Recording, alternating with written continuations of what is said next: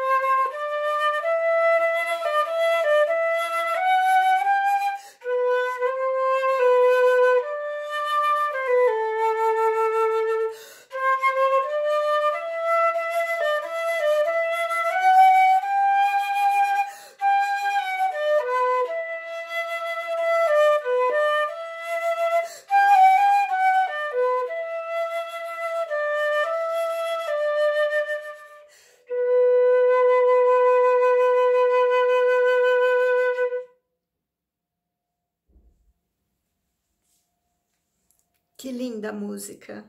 Fiquem com Deus.